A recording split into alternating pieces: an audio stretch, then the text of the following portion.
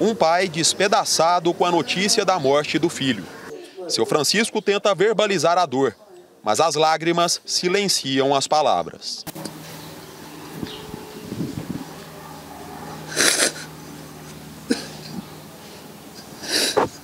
No celular dele, um dos últimos registros de Jefferson, debaixo de uma tenda em um garimpo, na Venezuela, onde estava há dois meses trabalhando. Até o barracãozinho dele estava ali, disse que ia mandar o dinheiro para me forrar quando ele chegasse. Estava todo arrumadinho.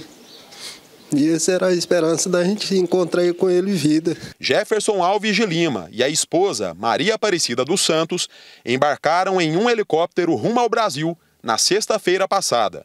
O avião já tá vindo buscar nós, viu?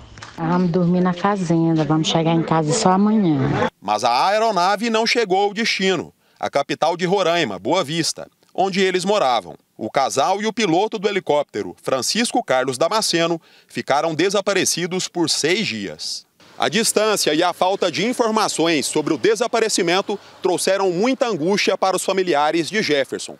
Ao longo da semana, eles chegaram a receber a notícia de que ele e os demais ocupantes do helicóptero haviam sido localizados com vida. Mas a informação era falsa. Nesta quinta-feira, a história finalmente teve um desfecho.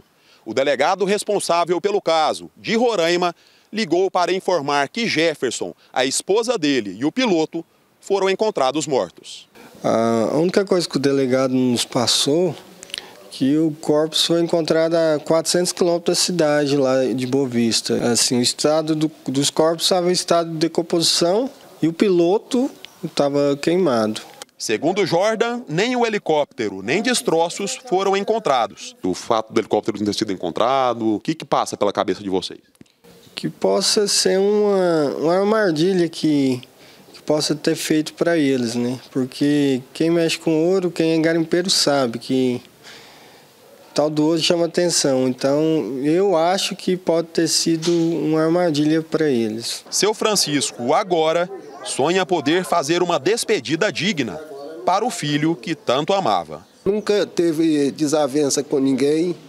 Em todo lugar que ele anda, até lá mesmo, todo mundo está tá abalado com isso. Os conhecidos dele, que por onde ele passava, ele tinha conhecido.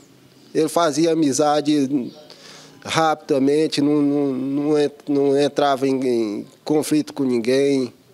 É uma pessoa de coração mesmo.